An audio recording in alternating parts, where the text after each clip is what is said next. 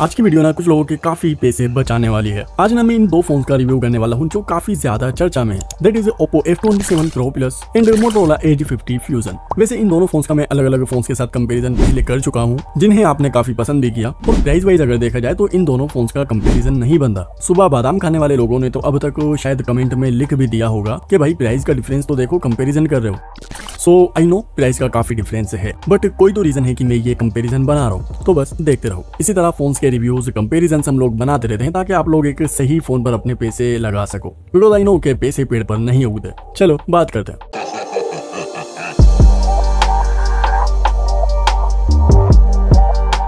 सबसे पहले देखो दोनों की प्राइस देख लो, क्योंकि सबसे बड़ा कंपैरिजन तो यही है। देखो ओप्पो F27 Pro Plus के दो वेरिएंट्स अभी ये दिखा रहा है। Eight GB RAM one twenty eight GB storage and eight GB RAM two fifty six GB storage eight one twenty eight की प्राइस की अगर बात करें तो ये है टू सेवन ट्रिपल नाइन यहाँ पर अभी फ़िलहाल कोई बैंक ऑफ़र नहीं है। फ्लिपकार्ट एक्सिस बैंक कार्ड है, जो कि लगभग सभी प्रोडक्ट्स पर होता है फ्लिपकार्ट पर। पर यहीं अगर बात करें मोटरोला एज फिफ्टी फ्यूजन की, इसके भी देखो दो अलग अलग वेरियंट्स हैं। Eight one twenty eight twelve two fifty six eight one twenty eight की मैं बात करूँ तो twenty two thousand nine hundred ninety nine rupees price तेईस हज़ार में से एक रुपया बचेगा चॉकलेट खा लेना। यहाँ पर देखो बैंक ऑफर्स भी दिए हैं। जी हाँ फ़िलहाल यहाँ पर देखो HDFC बैंक का क्रेडिट कार्ड अगर आपके पास है तो बस बल्ले बल्ले दो हज़ार रुपए डायरेक्ट कम हो जाएँगे। वैसे ये बैंक ऑफर्स ना देखो टाइम टू टाइम चेंज होते रहते हैं। अभी एच दिखा रहा है, हो सकता है दस दिन बाद, पंद्रह दिन बाद कोई और बैंक हो, और ओप्पो के अंदर भी कोई बैंक एड हो जाए। सो ये जब भी आप वीडियो देख रहे हो चेक कर लेना। वेल अभी की अगर बात करें तो देखो ट्वेंटी वन थाउज़ेंड रुपीज़ में मोटरोला एज फिफ्टी फ्यूजन आपको मिल सकता है। बस हाँ क्रेडिट कार्ड होना चाहिए, नहीं है तो थोड़ा जुगाड़ कर लेना। मैं तो यही करता हूँ। अब देखो प्राइस का एक बहुत ही अच्छा खासा डिफरेंस है। और अब बात करते हैं ट्विस्ट की। डिज़ाइन की बात करें तो देखो ओप्पो के अंदर कर्व डिस्प्ले मिलती है लाइट वेट फ़ोन है, पतला फ़ोन है प्लास्टिक फ्रेम है और आईपी रेटिंग ज़बरदस्त है आईपी सिक्सटी जी हाँ इंडिया का ये पहला फ़ोन है जो आईपी सिक्सटी रेटिंग दे रहा है और ये वाकई काबिल तारीफ़ है। देखो आईपी रेटिंग में जो ये नंबर्स होते हैं, इसमें पहला नंबर होता है डस्ट के लिए और दूसरा नंबर होता है वाटर के लिए। और जितना ज़्यादा नंबर होता है, उतनी ही अच्छी प्रोटेक्शन मिल पाती है। डस्ट के लिए अभी मैक्सिमम है सिक्स एंड वाटर के लिए फ़िलहाल मैक्सिमम है नाइन पहले ये एट था, अभी नाइन हो चुका है। अब यहाँ पर देखो थोड़ा सा ट्विस्ट है। जी हाँ कंपनी देखो इसका एडवर्टाइजमेंट कैसे कर रही है। यहाँ पर फ़ोन से स्टम्प ठोके जा रहे हैं रोलर चल रहे हैं, गाड़ चढ़ रही है। वाटर जेट्स का यूज़ किया जा रहा है। जी हाँ जिससे पानी काफ़ी ज़्यादा प्रेशर से निकलता है। तो ये सब देखने के बाद मन करता है की भाई काफ़ी ड्यूरेबल फ़ोन है, ले लो। और यही कोने में देखो इन्होंने क्या लिखा है कि ये इलेक्ट्रॉनिक डिवाइस है, पानी से थोड़ा बचा कर रखें। और देखो ब्रांड्स की एक रियलिटी भी मैं आपको बता दूँ, अगर पानी से आपका फ़ोन कोई सा भी फ़ोन खराब हो जाता है तो ये उसकी वारंटी क्लेम नहीं करते। इसके अलावा आर्मर बॉडी बताई तो जा रही है, और इसका ड्रॉप टेस्ट भी किया है। हाँ ठीक है ड्यूरेबल फ़ोन है, लेकिन कोई सुपरमैन का छोटा भाई भी नहीं है। ड्रॉप टेस्ट में देखो डिपेंड करता है किस एंगल से फ़ोन गिरा है। बहुत से लोग ना देखो टेबल के ऊपर फ़ोन को गिरा कर दिखाते हैं, जिसमें बहुत ही कम चांसेस होते हैं फ़ोन टूटने के। जी हाँ ये रियलिटी है। असल टेस्ट होता है रोड के ऊपर, किसी ऐसी सरफेस पर जहाँ छोटे छोटे पत्थर निकले होते हैं। और ऐसे में फ़ोन का बचना काफ़ी मुश्किल होता है। और इन सिचुएशन में कितना ही ड्यूरेबल फ़ोन हो, उसके टूटने के चांसेस काफ़ी ज़्यादा होते हैं। अब इसका मतलब ये नहीं है की ये फ़ोन ड्यूरेबल नहीं है। हाँ ठीक है, अच्छी बात है की सिक्सटी रेटिंग मिलती है। और इस फ़ोन के और ड्यूरेबल बनाने के लिए कॉर्नर्स पर भी काम किया गया है। हालाँकि वो बात अलग है की प्लास्टिक का ही फ्रेम इन्होंने लगाया है एल्यूमिनियम भी नहीं है। बट जितना कंपनी इसका एडवर्टाइजमेंट कर रही है, वो थोड़ा ज़्यादा ही है। इसलिए भाई, मैं तो ब्रांड्स के ऊपर ज़्यादा ट्रस्ट नहीं करता।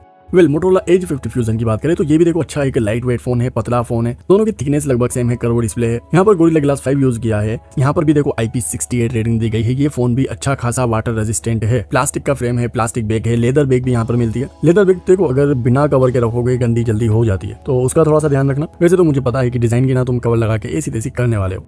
वेल देखो डिज़ाइन आईपी रेटिंग मोटरोला ने भी काफ़ी शानदार दी है। हालाँकि यहाँ पर ओप्पो ने तो एक्स्ट्रा ऑर्डिनरी काम किया है बट मोटो भी ज़्यादा पीछे नहीं है। हालाँकि ओप्पो ने देखो गोरिल्ला ग्लास विक्टस टू का प्रोटेक्शन दिया है, जो काफ़ी ज़्यादा ड्यूरेबल है। As compare to Gorilla Glass five display की बात करें तो देखो टेन बिट की एमोलेड डिस्प्ले है वन ट्वेंटी हर्ज की। सिक्स पॉइंट सेवन इंच की एक बड़ी डिस्प्ले है फुल एच डी रिजोल्यूशन है। ठीक ठाक से पिक्सल डेंसिटी है and screen to body ratio और बेटर यहाँ हो सकता था। हालाँकि यहाँ पर देखो कलर्स वगैरह काफ़ी अच्छे आ रहे हैं। यूट्यूब पर फोर के में HDR कंटेंट देख सकते हो। जी हाँ मोटरोला की अगर बात करें तो एमोलेड डिस्प्ले यहाँ पर भी है वन फोर्टी फोर हर्ज की रिफ्रेश रेट है रिफ्रेश रेट काफ़ी ज़्यादा है। इसकी वजह से थोड़ा सा स्मूथ फील होता है और ब्राइटनेस लेवल इसका थोड़ा सा ज़्यादा बेटर है। थोड़ी सी ब्राइट डिस्प्ले है, जिसका फ़ायदा होगा डे लाइट में। सिक्स पॉइंट सेवन इंच की फुल एचडी डिस्प्ले यहाँ पर भी है। स्क्रीन टू बॉडी रेशो थोड़ा सा बेटर है। बेजल चेंज थोड़ी सी कम रखी गई है। बट यहाँ पर देखो फोर में HDR कंटेंट ये यूट्यूब पर प्ले नहीं करता तो ये चीज़ मुझे थोड़ी सी अच्छी नहीं लगी। दोनों ही फ़ोन एंड्रॉइड फोर्टीन के साथ आते हैं। कलर ओएस काफ़ी अच्छा यू है। दोनों ही फ़ोन में आपको अपडेट्स मिल जाएँगे। एंड ओप्पो में ना कुछ इंस्टॉल्ड एप्स भी रहेंगे और कुछ रिकमेंडेशन भी आती है, जबकि मोटरोला काफ़ी क्लीन यू रखता है।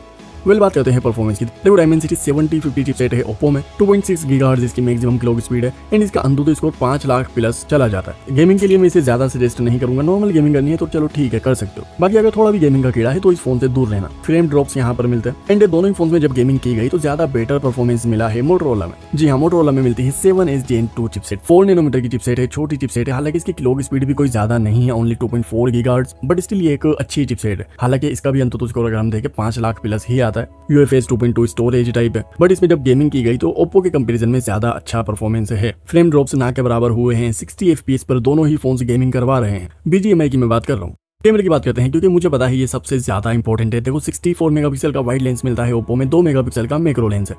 और यहाँ पर सबसे बड़ी बात यह है कि twenty six twenty seven thousand rupees में OIS नहीं है, जबकि आजकल ना पंद्रह हज़ार, सोलह हज़ार के फ़ोन भी OIS दे रहे हैं। OIS काफ़ी ज़्यादा स्टेबिलिटी प्रोवाइड करवाता है बट यहाँ पर मिसिंग है। यहाँ पर ना देखो ऑप्टिमाइजेशन से ही काम चलाने की कोशिश की गई है फ़ोटोज़ को थोड़ा ब्राइट करने की कोशिश की गई है। यहाँ डे में अगर हम सिंपल से देखें तो काफ़ी एवरेज से सिंपल्स आ रहे हैं, और लो लाइट में कुछ इस तरह का रिज़ल्ट है। एंड पोर्ट्रेट ये काफ़ी अच्छे ले रहा है। बट जब बात आती है वीडियोग्राफी की फोर के थर्टी एफ़ ये मैक्सिमम सपोर्ट करता है and four K thirty F पर काफ़ी शेकी वीडियोज़ बना रहा है। आई डोंट लाइक यहीं अगर हम बात करें मोटरोला की तो मोटरोला देखो 50 मेगापिक्सल का वाइड लेंस दे रहा है OIS के साथ। और 13 मेगापिक्सल का अल्ट्रा वाइड लेंस भी है। जी हाँ अल्ट्रा वाइड लेंस भी थोड़ा महँगा लेंस होता है। ये भी maximum four K thirty F पर वीडियो शूट कर सकता है बट यहाँ पर क्वालिटी थोड़ी सी ज़्यादा है। और फ़ोटोज़ की अगर बात करें तो थोड़े सेचुरेटेड कलर ये निकाल रहा है, जो कि देखो कुछ लोगों को शायद लगे कि यार थोड़ा ज़्यादा ही सेचुरेशन है बट ओवरऑल अगर मैं जब इसे कंपेरिजन में देख रहा हूँ, मुझे मोटरोला के कलर ज़्यादा अच्छे लग रहे हैं। एक नज़र में डेफिनेटली मोटरोला के कलर अच्छे लगेंगे। और बाकी आपके ऊपर डिपेंड करता है कैमरा सिंपल्स आपके सामने है। स्पीकर की बात करें तो देखो ओप्पो के अंदर सिंगल स्पीकर मिलता है, यहाँ पर भी कोस्ट कटिंग की है। जी हाँ सिंगल स्पीकर जबकि मोटरोला डुअल स्पीकर दे रहा है। सो डेफिनेटली यहाँ पर मोटरोला की क्वालिटी ज़्यादा बेस्ट है। हालाँकि स्पीकर ओप्पो ने काफ़ी अच्छा लगाया है बट सिंगल स्पीकर तो सिंगल ही होता है। इसके अलावा देखो WiFi six Bluetooth five point three infrared port under display fingerprint and five thousand M H बड़ी बैटरी सिक्सटी सेवन वोट की फास्ट चार्जिंग के साथ विथ रिवर्स वायर्ड चार्जिंग हालाँकि कितने वाट की है, ये कंपनी ने क्लियर नहीं किया but reverse wired charging support करता है। लेकिन यहाँ पर देखो एक चीज़ थोड़ी सी अतरंगी लगेगी एटी वोट का चार्जर ये देते हैं बॉक्स में बट फ़ोन सपोर्ट करता है सिक्सटी सेवन वोट ओनली और बैटरी बैकअप यहाँ पर काफ़ी सही सा मिल जाता है। सिक्स टू सेवन आवर्स का स्क्रीन ऑन टाइम मिल जाएगा।